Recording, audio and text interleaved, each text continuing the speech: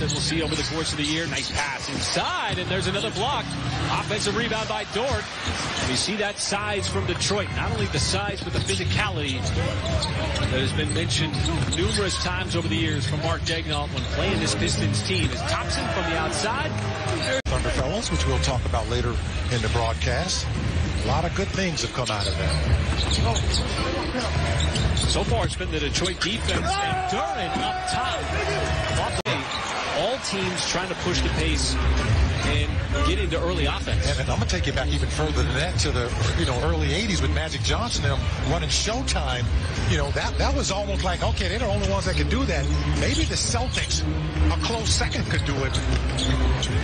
As the speed of the game, everybody wants to exactly what you've been discussing about making sure that he does not put his team out of position with his shot blocking. He said he's got the rhythm and timing of things down in terms of being able to actually go up.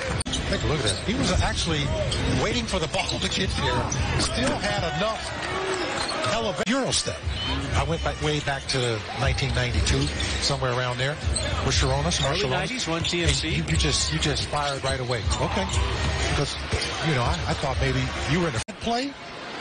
It may be a variation that you practice and practice, where you say, okay, And it makes the defense look like it's just completely asleep. it makes it look like a. Does he know that? No way, no way. That's a, I got another one if you want it. Uh, give me Oh one yeah, more, put him on the spot, Paris. Put him on the spot. You're just what on I was just going to name another team. Let it play out. There was nothing violent about it. It was just physical. We might see a little more of that. Yeah. Cunningham has been quiet in the game, just six points. Now make it eight. Don't want to forget about the first free throw from Ausar Thompson. There's a step back three from Jalen Williams behind the three-point line. No good.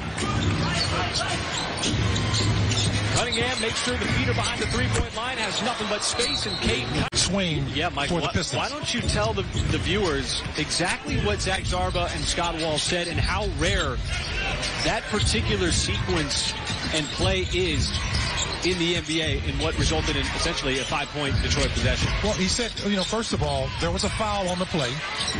All right, you, so you got free throws coming.